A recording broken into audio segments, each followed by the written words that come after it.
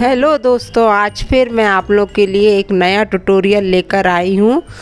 Drawing tutorial बहुत easy steps हैं।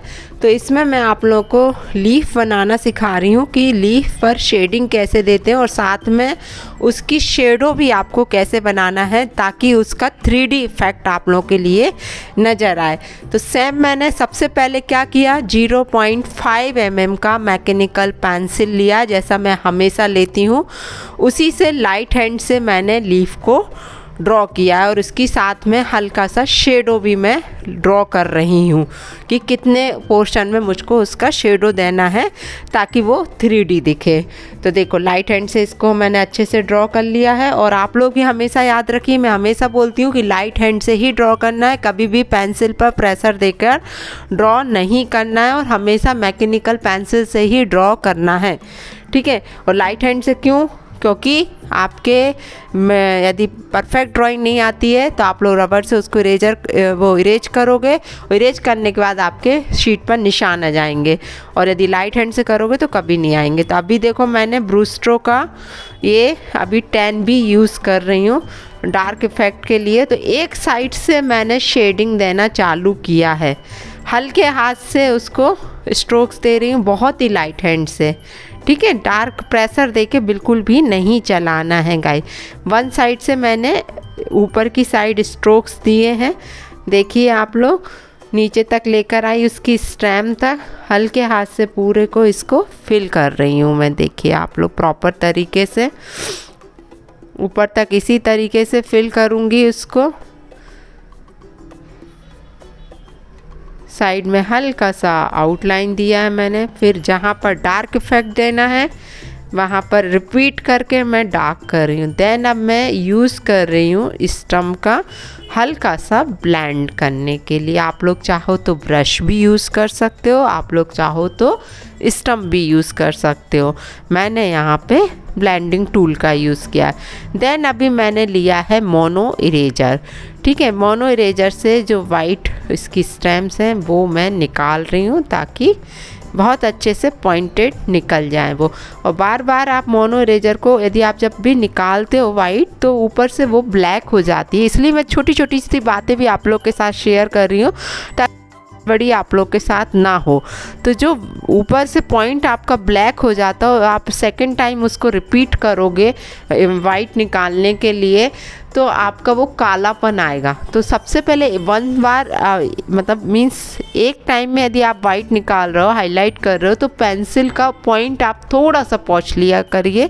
मतलब उसका कालापन हटा दीजिए फिर सेकेंड टाइम उसको फिर से करिए। तो कभी भी गड़बड़ी नहीं होगी। तो देखिए ये वाइट निकालने के बाद फिर मैंने फोर बी पेंसिल लिया है और उससे हल्का हल्का सा डार्क इफ़ेक्ट दे रही हूँ ताकि वो जो स्टैम दी हैं हमने, बीच बीच में हाईलाइट किया है, वो थोड़ा सा उभर के दिखे इसलिए। तो देखो कितना अच्छा इफ़ेक्ट आया। देन फिर मैं टेन भी यूज़ कर रही हूँ डार्कनेस के लिए। बहुत लाइट हैंड से पेंसिल चला रही हूँ दोस्तों मैं। और इसी तरीके से आप लोग भी करोगे ना तो कभी भी आप लोग को ड्राइंग में प्रॉब्लम जाएगी ही नहीं। जो मेरे पास इतनी आती हैं क्यूरीज कि मैडम हमसे नहीं बन रहा है, हमसे ऐसा नहीं हो रहा है। आप जो प्रोसीजर मैं बता रही हूँ, यदि आप इसको फॉलो करते हो तो डेफिनेटली आप घर बैठ के ही बहुत अच्छे से स्केचिंग सीख सकते हो। क्योंकि अब मैं डेली ट्यूटोरियल लेके आने वाली हूँ और अभी सिर्फ़ छोटे छोटी सी ही चीज़ें लेकर आऊँगी। कोई बड़ा पोर्ट्रेट वगैरह यदि होगा तो मैं बनाऊँगी। अदरवाइज़ मैं अभी मैंने डिसाइड किया है, क्योंकि गर्मियों की छुट्टियाँ आने वाली हैं और मैं चाहती हूँ कि कि बच्चे इस चीज़ को देखें और सीखें, ठीक है? तो इसलिए मैंने छोटे छोटे ट्यूटोरियल डालना शुरू किया है अभी, ताकि डेली सुबह आप लोगों को मेरा एक एक ट्यूटोरियल मिलता जाएगा और आप लोग यदि डेली इसको करते हो रिपीट अपने आप से तो आप सीख भी जाओगे और कुछ यदि आपको नहीं आता है समझ में तो आप मेरे से कमेंट्स में पूछ भी सकते हो। डेफिनेटली मैं रिप्लाई दूँगी यदि आपको कहीं भी प्रॉब्लम जाएगी। ठीक है तो सेम प्रोसीजर इस साइड भी कर रही हूँ, जैसा मैंने वन साइड बनाया था सेम रिपीट इस साइड है उसका तो धीरे धीरे लाइट हैंड से ऊपर की साइड स्ट्रोक्स दे रही हूँ मैं। फिर मैंने फिर स्टम्प का यूज़ किया है। सेम प्रोसीजर बिल्कुल जैसा एक साइड किया था, वैसे ही दूसरी साइड कर रही हूँ। ठीक है, लेकिन इसमें देखो कितना अच्छा इफ़ेक्ट आता है। यदि आप बहुत लाइट हैंड यूज़ करते हो, कभी भी, चाहे आप स्टम्प चला रहे हो, चाहे ब्रश चला रहे हो, चाहे पेंसिल चला रहे हो, आप लाइट हैंड ही यूज़ करोगे रिपीट कर करके डार्क करोगे। तो सेम देखो मोनो इरेजर से फिर मैंने हाईलाइट किया है। और फिर मैं पेंसिल लूँगी और ये जो डस्ट आती है डस्ट को मैंने हमेशा बताया इरेजर की जो डस्ट रहती है, उसको आपको मेकअप वाला जो ब्रश रहता है, उससे ही हटाना है। कभी भी हाथ से नहीं हटाना है, क्योंकि हमारे शेड ख़राब हो जाते हैं।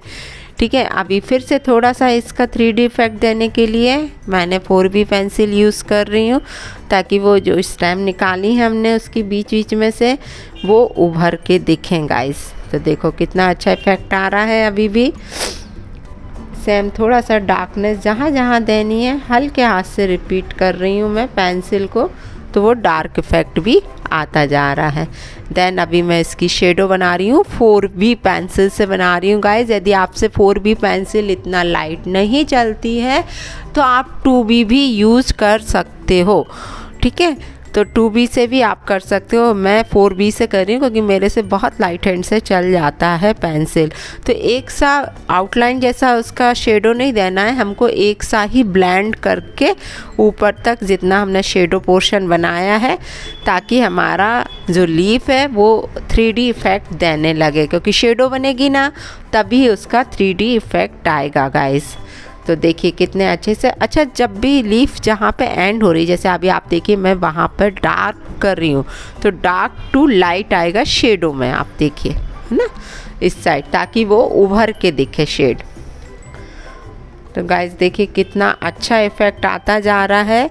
और यदि आज का ट्यूटोरियल यदि आप लोगों को पसंद आ रहा हो ना तो प्लीज़ यार, वो जो बटन दिख रहा है ना सब्सक्राइब वाला वो दबा दीजिए। हम लोग इतनी मेहनत करते हैं, हमको अच्छा लगता है कि यदि आप लोग लाइक शेयर कमेंट करें और हमारे चैनल को सब्सक्राइब कर लें।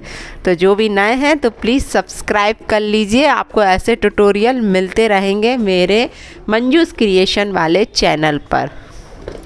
तो गाइस देखिए, ये लीफ हमारी बनकर बिल्कुल तैयार हो चुकी है। बस थोड़ा थोड़ा सा डार्क इफ़ेक्ट जहाँ बचा हुआ है, बस वो ही मैं उसमें इफ़ेक्ट दे रही हूँ गाइस तो आज के लिए इतना ही। नेक्स्ट ट्यूटोरियल में मैं बहुत जल्दी आऊँगी। नेक्स्ट नया कुछ चीज़ और बस इनिशियल वाली चीज़ें ही मैं अभी आप लोगों को सिखाऊँगी, ज़्यादा डेप्थ वाली नहीं सिखाऊँगी, ताकि आप लोगों का बेसिक यदि क्लियर होगा तो इसके बाद बड़ी चीज़ें हम लोग स्टार्ट करेंगे।